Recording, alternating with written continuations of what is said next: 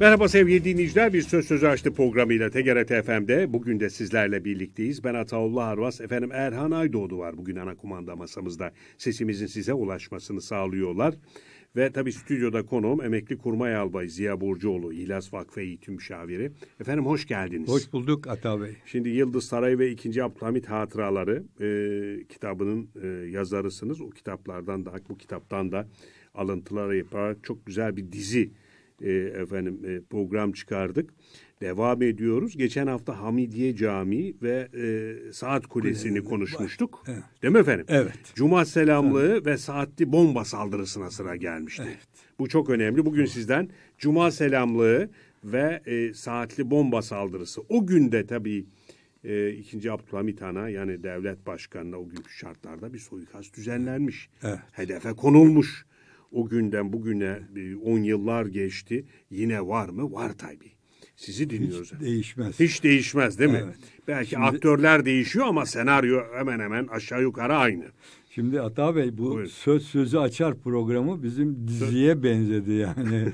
Şimdi bu Yıldız Sarayı ve Abdülhamit Han'ı Evet. anlatmaya çalıştığımız bu her haftaki programlar bizim dizi gibi oldu. Biliyorsunuz Evet. e, TRT Bu- 1'de öyle bir dizi var. Payitaht Abdülhamit. Evet, Değil mi? Ya da Payitaht sene? İstanbul Dört, dört senedir devam ediyor. devam ediyor. Ve, Evet. ve, e, aşağı yukarı e, ben o diziyi e, çoğu zaman e, fırsat buldukça seyrediyorum ve tavsiye de ediyorum. Tabii. Veya belki şimdiye kadar çekilen diziler içerisinde, tarihi diziler içerisinde gerçeğe, hakikata en uygun olan bir dizi. Böylelikle Sultan Abdülhamit Han'ı e, yeni nesil, e, yeni şey, yeçesiyle tanımaya başlayacak. Tabii. Çünkü e, geçmiş programlarda arz etmiştik.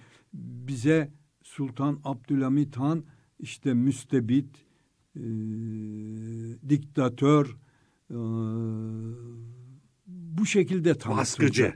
Baskıcı. Evet. Ondan sonra Kızıl Halbuki- Sultan. halbuki onlarca gazete çıkıyor. Böyle, evet. Ee, Ve o dönemi sonra öğreniyoruz ki e, ikinci Abdülhamit Han dönemi hiç söylendiği gibi değil. Ülkenin Osmanlı İmparatorluğu'nun yıkılmasını 33 sene geciktirilmiş Tabii.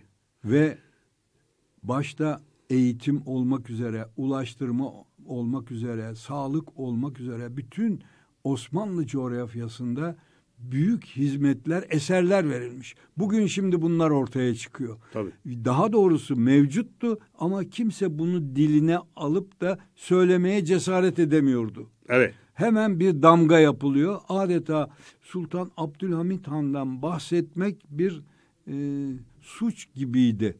Değil mi? Şimdi bunun böyle olmadığı o devrin efendim bunu bütün dünya mesela dış politikada Sultan Abdülhamit Han'a deha sıfatını yabancılar verdi.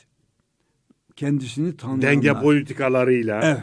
idareciliğiyle, büyük siyaset yürütmesiyle. yıkılmasını 33 sene geciktirdi ve o e, süre içerisinde hem Osmanlı borçlarını yarı yarıya temizledi hem de o ekonomik sıkıntılar içerisinde olmasına rağmen başta Anadolu olmak üzere bütün Osmanlı coğrafyasında okuldan, hastaneden tarihi eserlere varıncaya kadar hepsini yaptı. Evet. Ve bu şimdi bunlar ortaya çıkıyor. Geçmiş programlarda. Aa bunu da yapmış, şunu da yapmış. Bak Evet. aa bunu da yapmış falan. Aa baksana. Bakıyorsunuz İstanbul'da, ortaya, tabii. Boğaz'da, Anadolu'nun veya Osmanlı coğrafyasına gittiğiniz her yerde e, bunu görüyorsunuz. Evet. Şimdi geçen hafta arz etmiştim Yıldız Sarayı'nı, Yıldız Camisi'ni yani Hamidiye Camisi'ni anlattık da hemen onun yanında ne vardı? Saat Kulesi vardı. Saat saat kulelerinden bahsetmiştik Tabii. ve demiştik ki arz etmiştik ki e, Osmanlı coğrafyasında 30'a yakın e, saat kuleleri yapılmış. Yani günümüze bunlar intikal etti. Bunların içerisinde işte Yıldız Sarayı'nın e, hemen yanındaki Hamidiye Camisi'nin yanındaki saat kulesi, Dolmabahçe Sarayı'nın e, yanındaki Dolmabahçe Saat Kulesi dört katlı Sirkeci Garı'nın hemen her iki yanındaki saat kuleleri bu İstanbul'daki sadece bildiğimiz ve 30'a yakın bunların isimlerini hatta bugün Evet. mesela İzmir'deki Saat Kulesi konakta Hamidiye Saat Kulesi'dir. Tabii.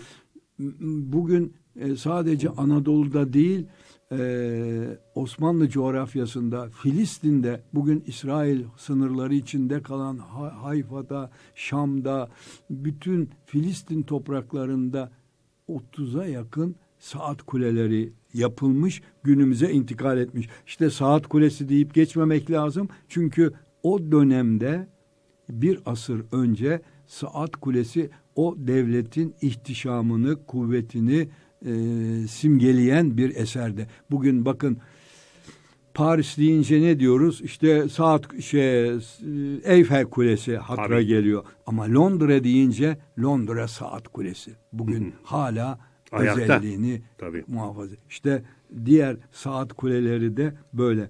Şimdi bunların içinde yine e, İstanbul'da geçen hafta e, yarım kalmıştı. Onu arz etmek istiyorum.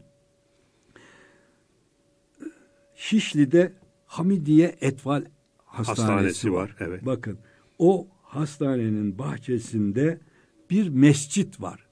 O mescidin de minaresi var. Fakat bu e, mescit ve minaresi çok aynı zamanda çok maksatlı bir saat kulesi. Bunu çok kimse fark etmemiştir. Yani e, Etfal Hastanesi'ne girenler, çıkanlar bugün kullanılıyor. Bakın hala işte Tabii. biraz önce ifade ettim ya hastane, sağlık konusunda her yere hastaneler yapılmış.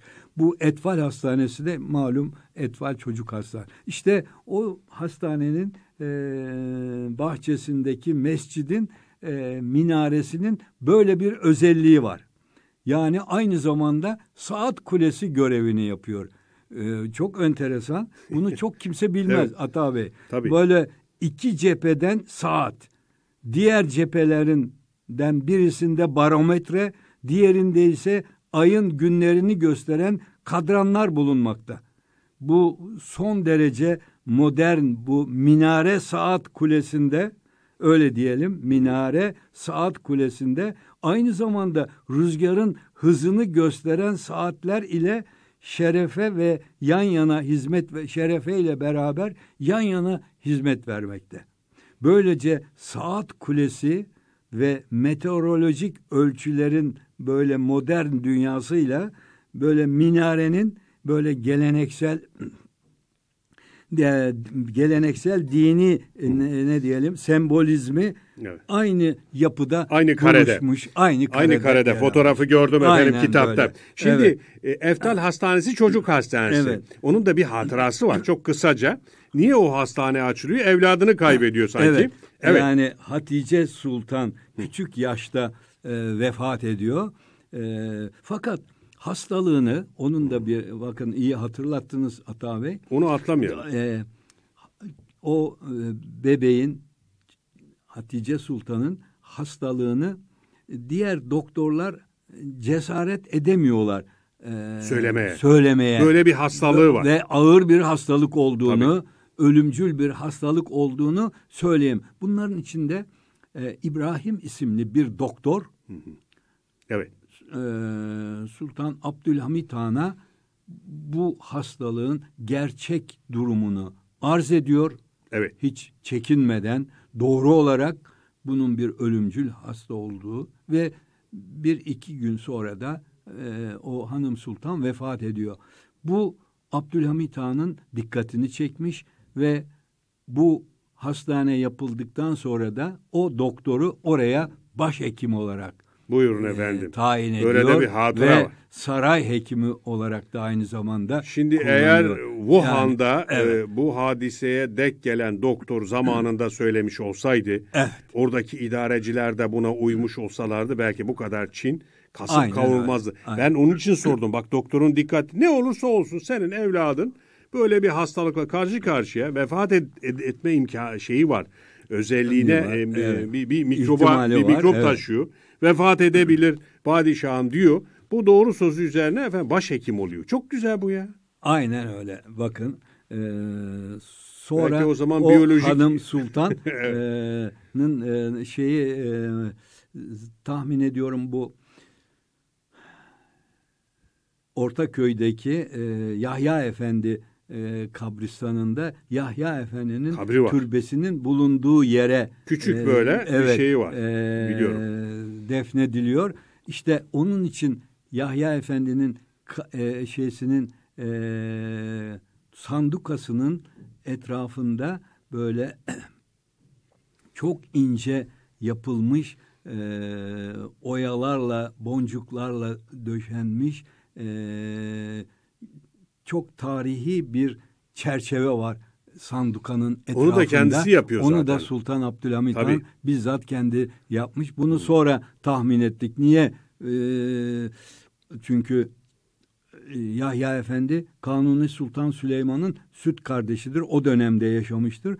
Kaç sene sonra o sandukanın etrafına böyle bir şey yapma ihtiyacını duymuş.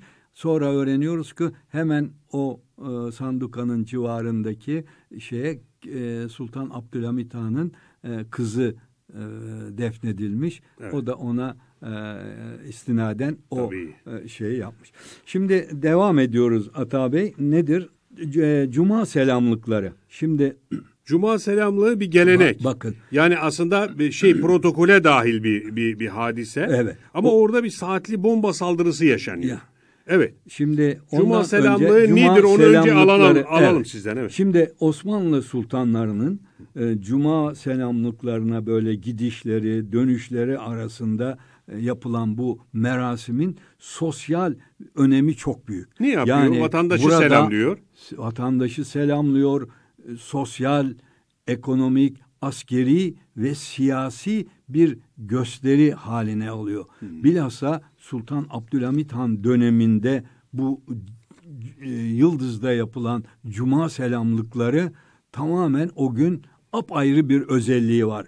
Yabancı büyükelçiler, yabancı diplomatlar, Herkes kordon- orada. Hepsi orada. Askerler orada. Ayrıca bir resmi geçit yapılıyor. Hem yabancı büyükelçilere gösteri olmak üzere. Dolayısıyla e, cuma namazının kılındığı, hutbenin okunduğu ve bütün Müslümanlara gayrimüslimler dahil açık ve halk hünkârın, padişahın halkla temasını sağlanan aynı zamanda halkın derdini, dilekçesini e, sultana Bir halk günü diyebiliriz açıklı- ona. Aynen öyle. Yani bir halk Bunun günü. çok maksatlı işte bir yönü de halk günü olması. Bakın e, Sultan II. Abdülhamit Han'a kadar camilere cuma namazına e, m, hünkârlar, padişahlar e, at beyaz bir ata binerek giderlerdi. Ancak Sultan Abdülhamit Han belindeki rahatsızlıktan dolayı e, cuma namazına e, arabayla gidiyordu. Şimdi Bu da o, atlı araba ama. Evet tabii Evet, atlı at değil ama arabayla, atlı araba, evet. d- Dört e, zannediyorum dört atın çektiği bir araba. Tabii.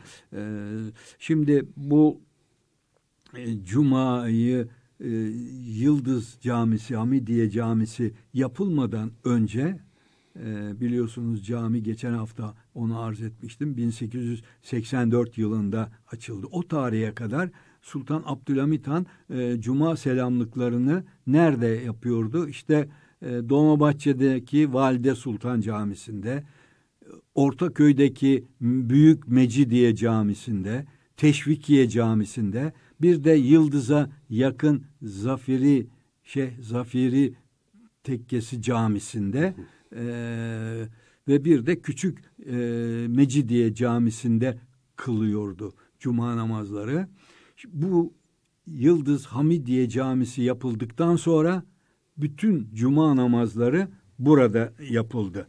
Evet. Şimdi bakın Ata Bey, cuma selamlığında askeri, mülki ve ilmiye sınıfından pek çok kimse bulunuyor. Her sınıf askerden meydana gelen birlikler, değişik sınıftaki birlikler namazdan sonra resmi geçitte bulunuyorlar. O resmi geçit esnasında da set köşkü var e, Yıldız Sarayı'na hemen girerken seyir köşkü de deniyor, set köşkü de deniyor. E, Alman İmparatoru 2. Wilhelm'in ziyareti münasebetiyle yapılmış büyük mabeyn binasına bitişik olarak ki ona işte askeri birlikleri e, göstermek, merasimlerin oradan yapılmasını sağlamak için. İşte orada aynı zamanda böyle bir askeri bir merasim e, yapılıyor.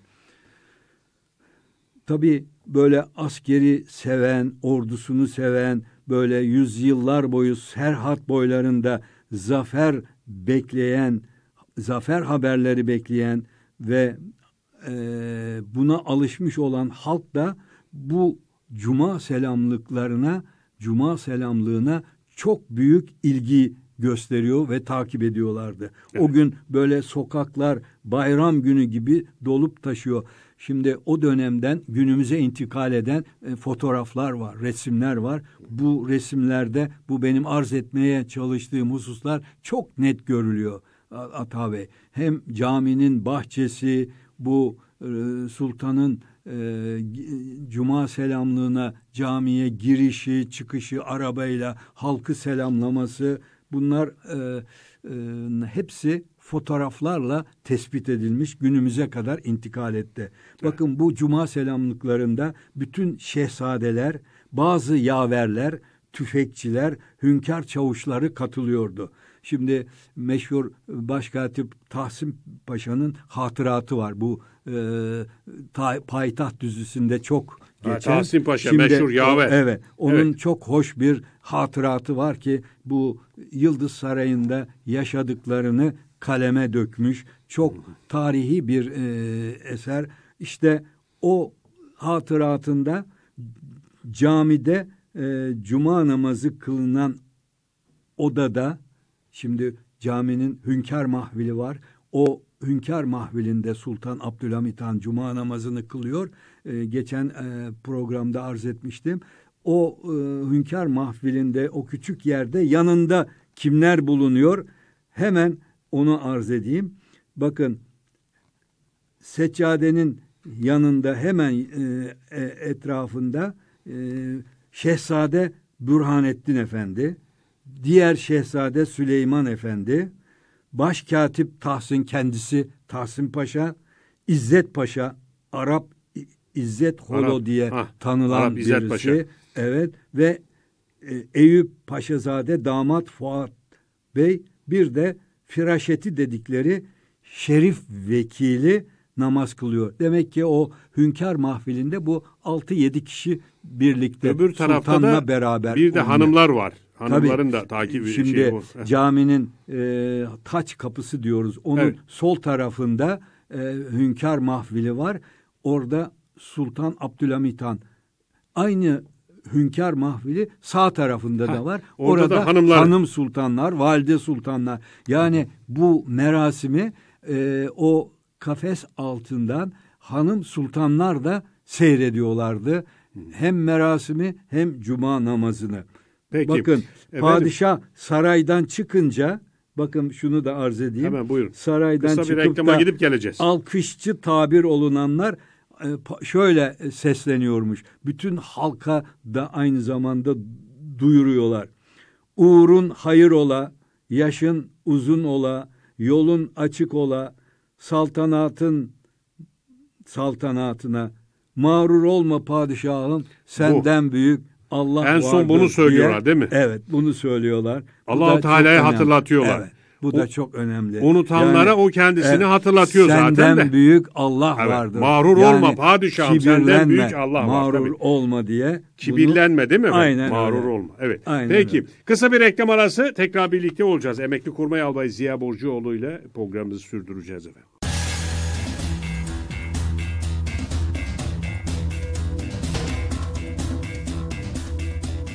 Evet sevgili dinleyiciler tekrar söz sözü açtı programında birlikteyiz. Emekli Kurmay Albay Ziya Burcuoğlu yanımda.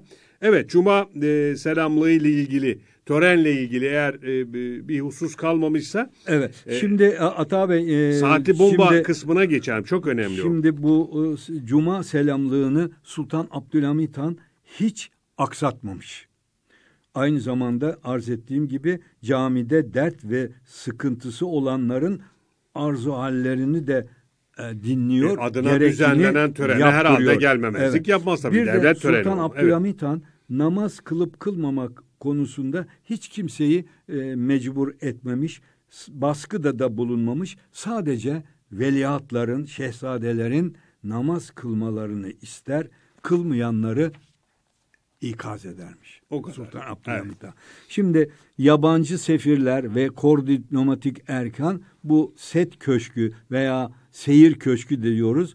Orada onlara kapalı bir yer tahsis ediliyor. Orada ikramlar yapılıyor ve orada Sultan Abdülhamit Han'ın camiye giriş çıkışını ve askeri birliklerin resmi geçidini seyrediyorlar. Hani milli tören şu anda da milli günlerde askeri birlikler Tabii törenler var. yapılıyor ya. Evet. Aynı onun gibi böylelikle e, ordunun e, gücünü de göstermiş oluyorlar. Günümüzde de yapılıyor. Aynen Komünist öyle. ya da eski sosyalist ülkelerde gövde gösterisi gibi e, ama Amerika'da Şimdi, da farklı bu bir şekilde. Cuma selamlığı evet. sırasında Hamidiye Camisi'nde üç sıra askerle çevriliyor. Beşiktaş'tan yani Yıldız'dan Beşiktaş'a inen yokuşun sağındaki meydanın önü bir saf piyade birliklerinden, sonra atlı birliklerden, daha sonra Ertuğrul ve mızraklı mızraklı alaylarından müteşekkil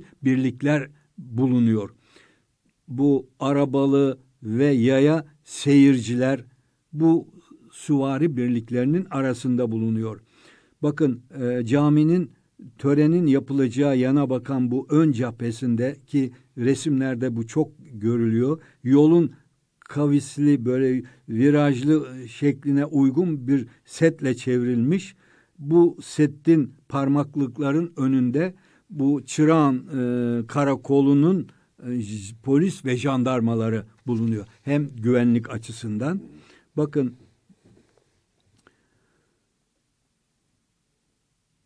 Sultan II. Abdülhamit Han'ın arabasına binmesine yaklaşık 25 dakika kadar önce harem arabaları cami avlusunda protokola uygun bir şekilde sıralanıyorlar. Dizilir. En başta Valide Sultan'ın arabası yer alıyor.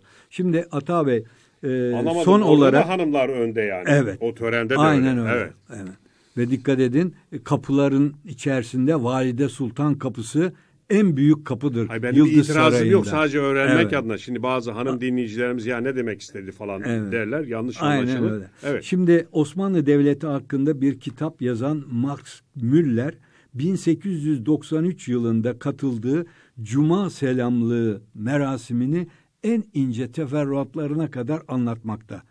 Diyor ki o hatıratında erkek, kadın herkesin başının kapılı olması, beyaz örtülerle merasimi takip eden kadınları, toplumun her kesiminden insanın ırk, renk, dil ve din ayırt etmeksizin bir arada padişahı çok samimi bir şekilde alkış, alkışlamalarını hayranlıkla nakletmektedir.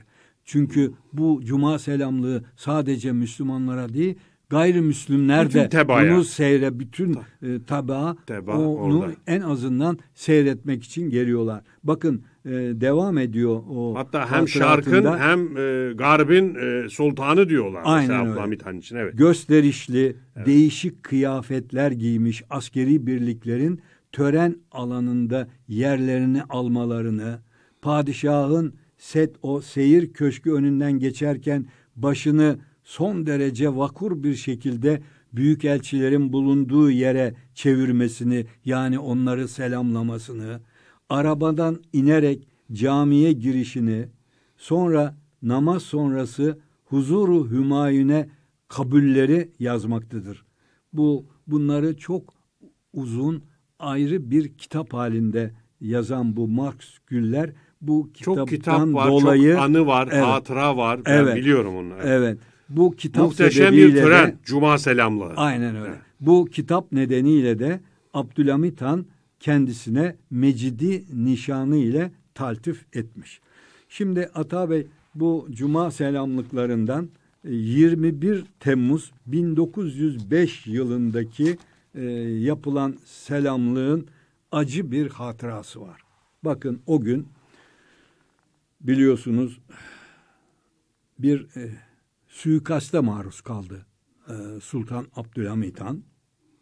Ama oradan biliyorsunuz Bakın, camiden evet. ayrılmadan Şeyhülislam'la Evet. biraz sohbet ederken Ken- o suik- işte suikastten kurtarıyor. O Cuma Kader hani. selamlığında bu Öldürmeyen Allah öldürmez. arz etmeye çalışacağım. Tabii. Ee, çok ince planlanmış ee, ve yüzde yüz muvaffak olacak şekilde tertibat alınmış. Saatli bomba Ancak- kurulmuş yani. Evet. Yani Ancak saati bir de orada belli zamanı camiden saati, çıkarken yeri tarihi Evet. evet.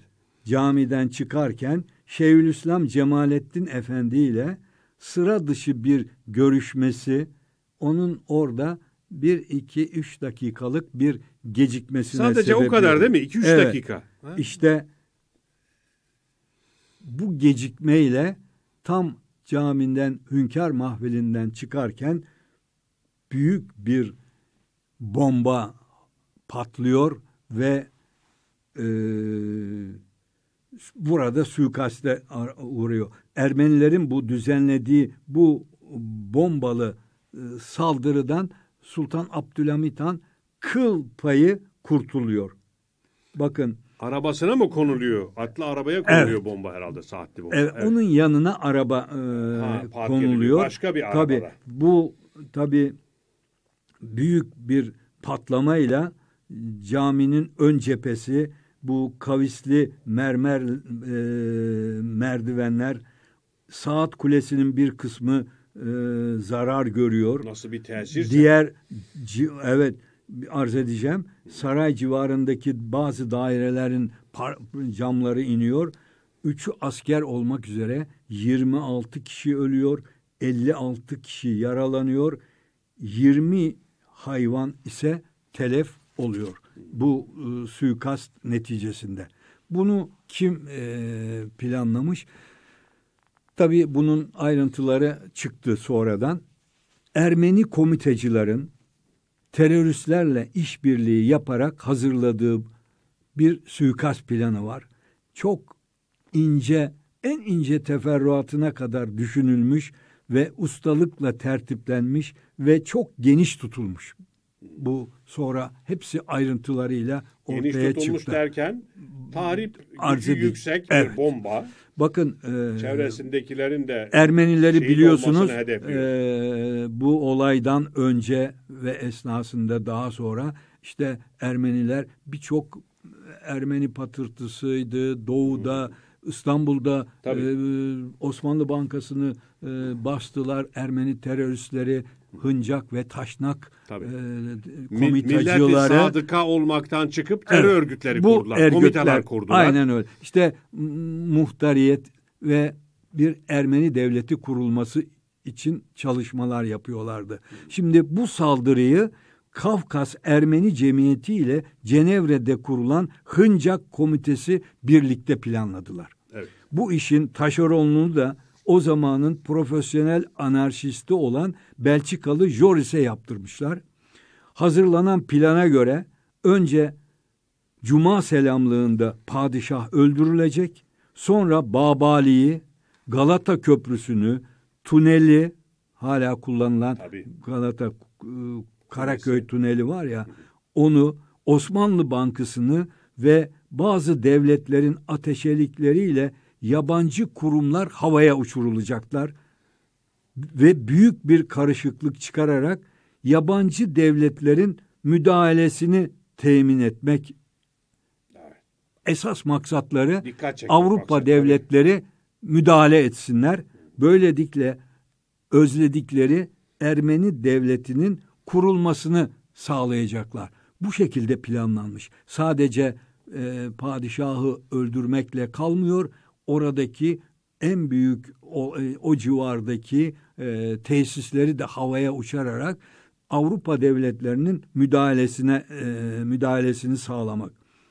Şimdi bu bunun için Ermeni komitecilerinin pek çoğu Türkiye'ye gelmişler. Çok e, ince çalışmalar yapmışlar ve Belçikalı ünlü terörist Joris isimli e, teröristi bu işe görev ayarlamışlar ve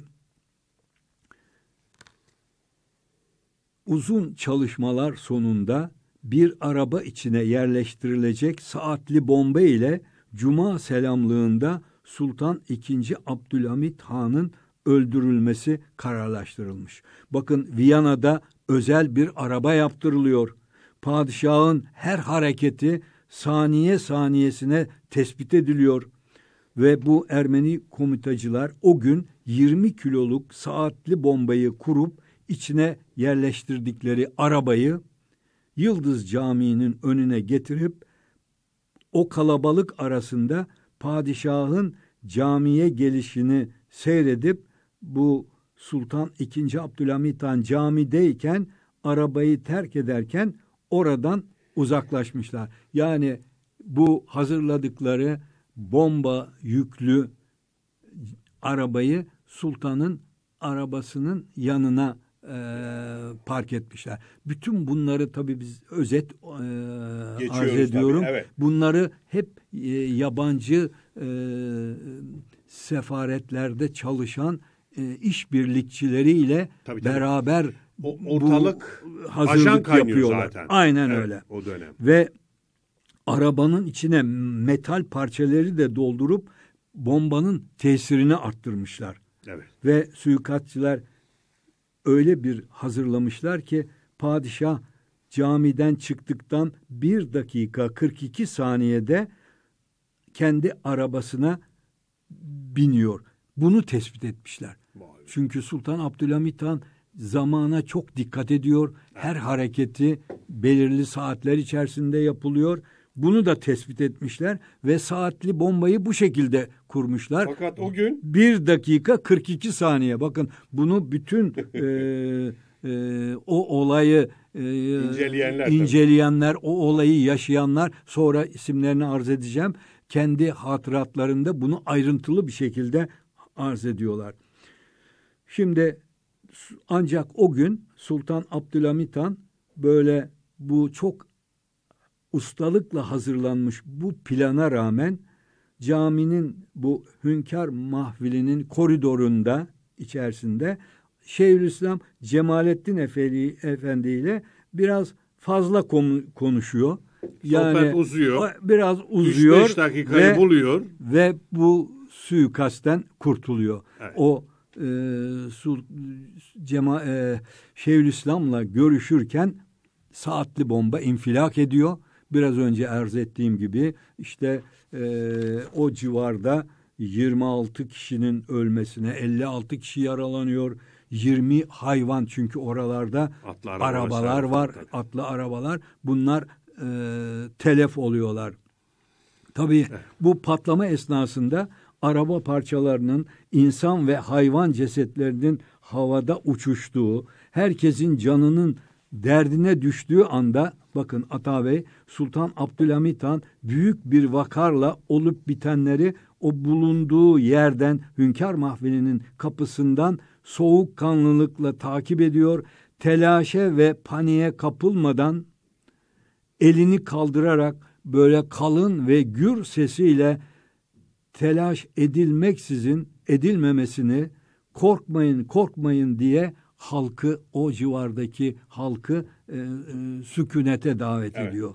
Gerekli emirleri verdikten sonra kendi e, şeysiyle saltanat arabasına e, yöneliyor ve patlamadan ürkmüş olan atların dizginlerini kendisi ata biniyor, e, arabaya biniyor, dizginleri kendisi alıyor. O Set Köşkü'nün önünden yerli ve yabancı orada bulunan bütün e, kor diplomatik diyelim onların önünden geçerken bütün yabancılar Viv Sultan diye yaşasın sultan diye alkışlayarak ayakta evet. Sultan Abdülhamit Han arabayı bizzat kullanarak saraya dönüyor. Bu bakın Ata Bey burada önemli bir husus var. E, bomba hadisesinin hemen akabinde binlerce seyirci ve yabancı diplomatlara karşı düşünmeden söylediği bazı sözler var. Bu ifadeler onun kalbinin temizliğini, olgunluğunu, e, hani kendisine yatış yakıştırmaya çalışılan korkaktı, vehimdi. Evet. Böyle bir durumun olmadığını ifade ediyor. Bakın, Ağırbaşlı, diyor ki, liderlik vasfını öyle. göstermiş, Bakın, sakin vatandaşı kend, da sakinleştirmiş. Kendimce evet. en mühim emelim ehalinin rahat ve mesut olmasıdır. Bu uğurda gece gündüz nasıl çalışıldığı ve gayret gösterildiği malumdur. Hüda ile emin olmaklığımdır. Onun için Cenab-ı Hakk'a şükür ve hamd ederim. Müteessir olduğum bir şey varsa asker evlatlarımdan ve ehaliden bazılarının telef ve mecruh olmalarıdır. Yani yaralanmalıdır. Evet. Buna ile, ilelebet teessüf ederim. Tebaamın hakkımda göstermiş oldukları hissiyata an samimi kalp memnuniyetimi beyan eder. Afat-ı semaviye ve erdiyeden masuniyetleri için dua ederim. Bakın bu olay birçok görgü şahitlerinin itiraflarıyla sabittir. Hatta muhalifleri dahi. Bakın Sultan Abdülhamit Han'ın bu vakur davranışını bütün kaynaklar ittifak ediyor. Dostu düşmanı, muhalifi muarızı. Bakın meşhurlardan Celal Esat Arseven, Tahsin Paşa Başkatip, Refi Cevat Olunay Saray gazetecisi yakında 60'lı yıllara kadar e, gazetelerde yazı yazıyordu. Sultan II. Abdülhamit Han'ın kızı Ayşe Sultan hatıratlarında bu tarihimize bomba hadisesi diye geçen bu suikasti ayrıntılarıyla anlatmaktadırlar. Ben çok özet geçtim. Evet. Bakın Sultan II. Abdülhamit Han'ı korkaklıkla itham edenlerin yalanlarını yaşanan hadiseler çürütmektedir. Şimdi Ata Bey, yabancı devlet adamları, edipler ve sanatkarlar bu menfur suikasti kınarken meşhur şair var. Tevfik Fikret. Evet. Bakın bir Lahsayı Teahhur isimli bir şiir yazdı. Yani Türkçesi bugünkü Türkçe ile bir anlık gecikme adlı şiirinde Ermeni komitecileri alkışlıyor. Suikastçileri. Türk, evet suikastçileri.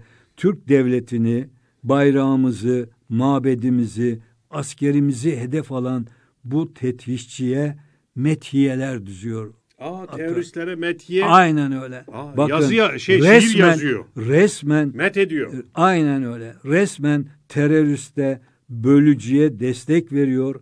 Bu kanunen de suç saydığı bu fiili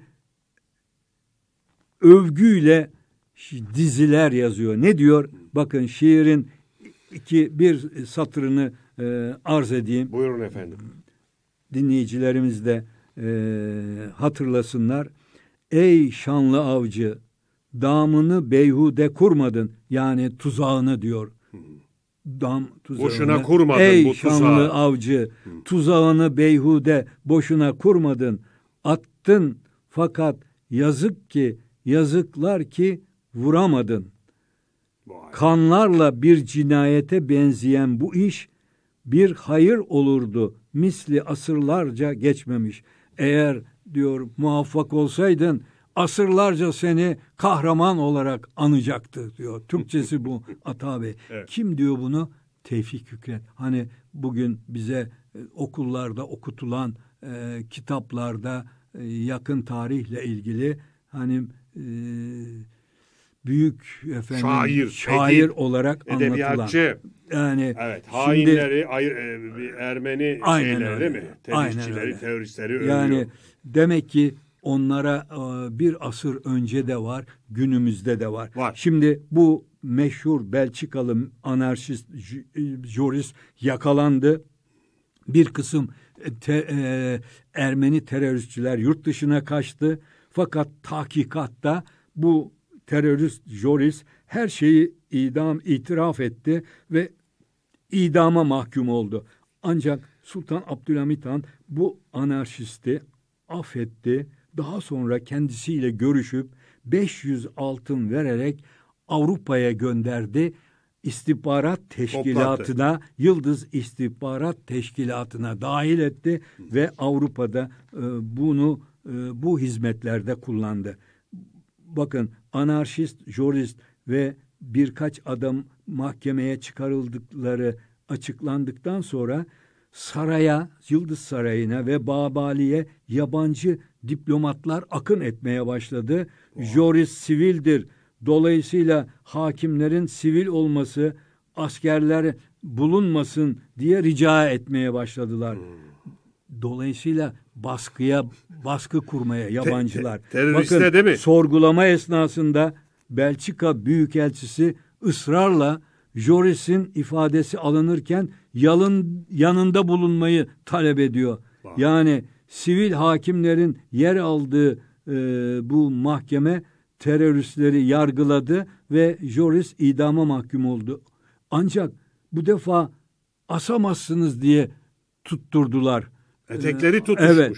Bakın bu hadise Avrupalıların günümüzdeki baskılarının ve teröre verdikleri desteğin Bir böyle yeni olmadığını, bundan bir asır önce de, yüz yıl önce de aynı şekilde davrandıklarının çok açık bir delilidir. Hani biz şimdi Avrupa Birliği diyoruz ya sık sık insan hakları ne diyor? Terörle mücadelede yeni şöyle kanun çıkartın teröristlere şöyle yapmayın. Size verdiğimiz Bunlar silahları yeni bir burada kullanmayın değil. vesaire. Ve Tabii. bakın o dönemde de yerli işbirlikçilerin bulunduğunu gösteriyor. Bu bomba hadisesi bu şekilde de çok önemli. İşte e, diyoruz ya e, olaylardan e, ders almak lazım. Bir asır önceki olaylar günümüzde de aynen devam Maalesef. ediyor. Avrupa nasıl böyle baskı kurmaya çalıştıysa da şimdi de Avrupa Birliği ismi Baskı. altında Şimdi baskıya devam Hem ediyorlar. terör hadiseleri, saldırılarını destekliyor, aynı zamanda da baskı uyguluyor. Çok ilginç. Aynen öyle. Teröristlere e, efendim himaye devam ediyor. Onun Juris'in- için yakın tarihten Evet. ders almamız bilhassa çok çok, güzel. önemli. Bunu e, Fakat- yeni nesle, gençlere bunları anlatmak lazım. anlatmak Efendim gerekiyor. Juris'in e, Yıldız Teşkilatı'nda çalışmaya başlaması, Abdülhamit Han'ın emrine girmesi de çok ilginç. Bu öyküyü biraz açalım. Ama ne zaman? Önümüzdeki hafta sevgili dinleyiciler, emekli kurmay albay Ziya e, efendim Burcuoğlu'na bugün için çok teşekkür ederiz. Ben Ataullah Arvaz. Allah'a ısmarladık.